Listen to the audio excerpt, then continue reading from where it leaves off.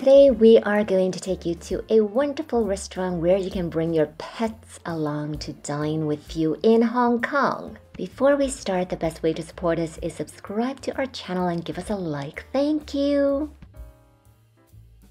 Today we are going to this restaurant called Tom Bar and Grill, which specializes in Western and Thai food.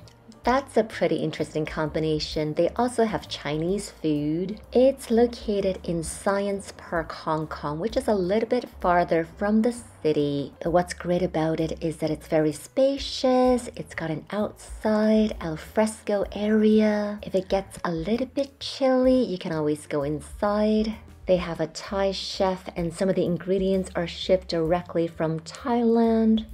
So I'm gonna have one of my favorite Thai salad, the prawn pomelo salad, followed by another one of my favorite dish, the basil leaf minced meat. You can choose chicken, pork, or beef with lettuce.